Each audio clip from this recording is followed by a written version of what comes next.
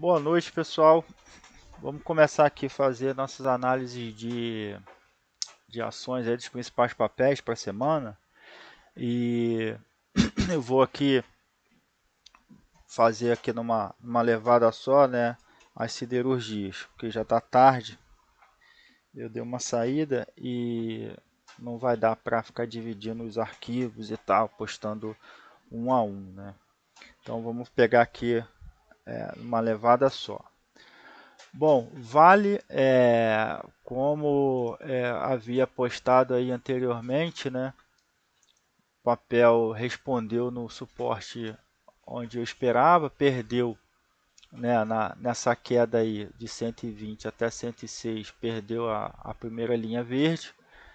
E é, isso também aqui nesse meio do caminho, né, ali 113 114, ganhou um tempinho para que a MIMA 72 subisse, né? Então ela subiu, então eu fiquei com dois suportes aqui, né? Tanto a MIMA 72 quanto a PV2 e respondeu bem, do jeito que eu gosto. Eu fiz até preço médio aqui nessa região. É, de siderurgia, os dois papéis que eu estou posicionado é Vale e os Minas.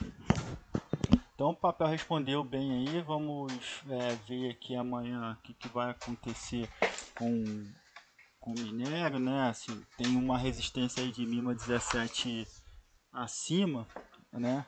Aqui na região de 114, então é importante que a gente rompa essa, esse preço aí de 114 alguma coisa, tá? Para depois a gente seguir aí o topo de 120, tá bom? Se a gente for fazer aqui é, um, um, alvo aqui de longo prazo, para vocês terem ideia, né? A gente vai ter alvo aqui, ó, em 134, tá? Vou até deixar aqui, alvo 134. É, basta que a gente rompa aqui os 120, que é o topo anterior, tá? Vamos dar uma olhada aqui é, no gráfico de 60 minutos, onde a gente tem aqui uma região aqui de resistência que é exatamente, você vê como é que os, os gráficos andam juntos, né? É, eu falei aqui, ó, essa parte aqui de 114, 46, alguma coisa. E aqui a gente tem é, 114, 114, tem essa aqui 114, 60 também que a gente tem que superar, tá? É, e aí o topinho aqui anterior, né, que foi o, o pullback dessa queda aqui que aconteceu, que começou lá em 10 de maio, é, é, um, é um ponto importante a ser rompido, né? Até escrevi aqui, tá? Então vamos ficar aí de olho. Agora eu não faço nada em vale, tá? Eu já estava posicionado desde o exercício anterior para essa série, né? Então, é, no momento eu não faço nada em vale não, tá? Eu, eu fiz o que eu tinha que fazer, eu fiz aqui. Então agora é esperar e aguardar o papel subir. Vamos aqui para CSN. É, papel veio no suporte, né? Assim, bem parecido aqui com com Vale, tá?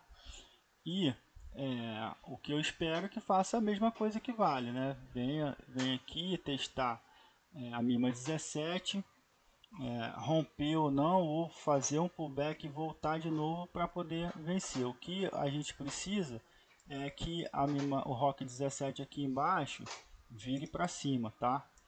E aí a gente pode ver aqui, ó, nos exemplos anteriores, eu sempre gosto de mostrar isso, que a gente tem aqui é, o Rock 17 descendo, subindo sozinho, descendo sozinho, subindo sozinho, e o papel respondendo, né? Aqui também descendo sozinho, subindo sozinho, depois que ele subiu também o papel não caiu mais para baixo das linhas verdes. E é só aqui nesse ponto que a MIMA 72 veio aqui, ó, pegou o suporte e foi embora. Tá? Então espero o mesmo movimento aí que deu na Vale em CSN.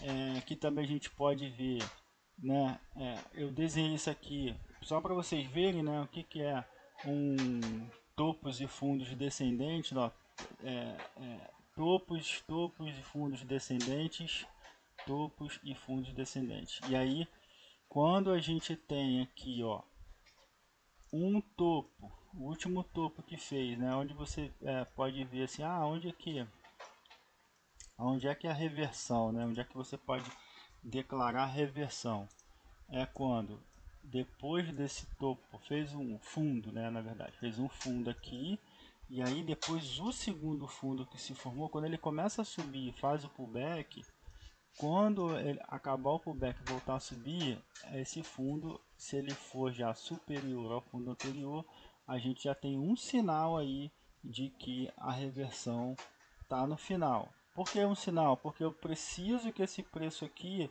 rompa esse topo anterior. Então eu vou ter dois fundos ascendentes com dois topos ascendentes. E aí sim eu posso declarar que terminou ali a, a, a tendência de baixa nesses 60 minutos, tá? É, o caminho já está desenhado aqui, onde está fazendo os pullbacks são onde faz as resistências, né? Onde ele bate, eu, eu sempre faço esse movimento porque é, eu não tenho como, às vezes, precisar pelo aqui pelos rocks, né? Na, onde está agora, né? Então é, eu não tenho como dizer que vai romper aqui direto. Aqui é casa do gigante, então no gráfico de 60 minutos é importante esse rompimento aqui, que é basicamente o rompimento do, do topo anterior, tá? Vamos para aqui os Minas, que é o papel que eu estou também posicionado, onde eu entrei foi mais ou menos aqui nessa região, né, a região de suporte, que foi a mesma região de suporte da Vale, tá? Onde acredito também ele vai fazer um movimento parecido. Você vê que é bem parecido, os movimentos são bem parecidos.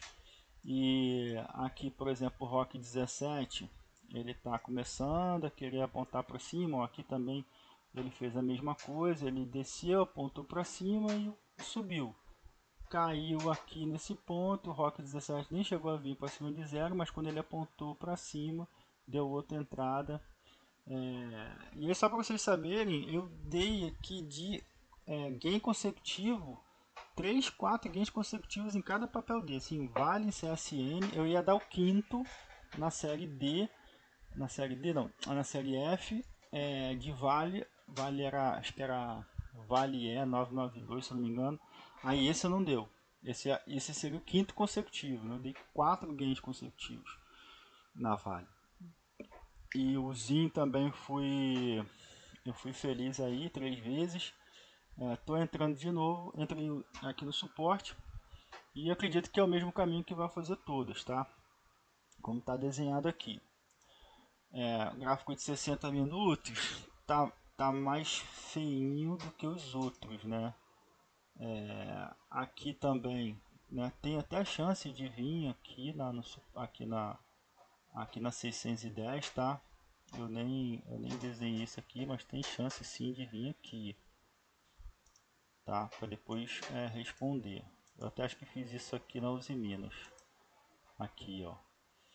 É, tem chance, vamos ver aqui esse ponto aqui de 19,40 e vamos ver se ó, vai decidir subir direto ou se vai vir aqui na 610 ainda e voltar a subir. Se vier aqui fizer uma queda de alta, aí eu faço o preço médio lá naquela Uzi Minas que eu entrei aqui nessa região, tá? Mas assim, eu não acho assim que que deva perder esse suporte não, tá? Acho difícil, não é impossível, mas eu acho difícil perder esse suporte aqui. Então pode ser que amanhã ela já ela já nasce aqui subindo, não chega nem vir para cá, tá? Vamos ver GGBR também, outro papel que tá tá até com agora tá com suporte mais forte até do que o da Vale aqui, ó. Da Vale só tinha a MIMA 72 GGBR tá com a MIMA 72 e uma MIMA dupla aqui, o suporte duplo de 72, então tá mais forte. Outro papel também que é bom ficar aqui de olho se vier aqui ou se fizer um, uma queda de alta aqui é, bem convincente, né? De repente até vale uma entrada aqui, mas eu vou avaliar na hora. Aqui no gráfico de 60 minutos, aquela mesma história, né? É, e aí aqui pode fazer isso também direto, tá? Vim aqui para testar a casa do gigante, voltar e depois subir de novo, tá?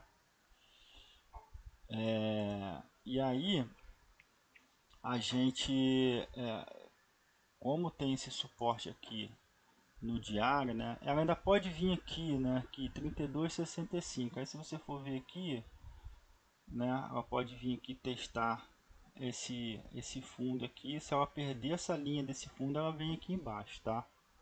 Vou, vou desenhar aqui, ó, vou deixar aqui 32 e 26, tá?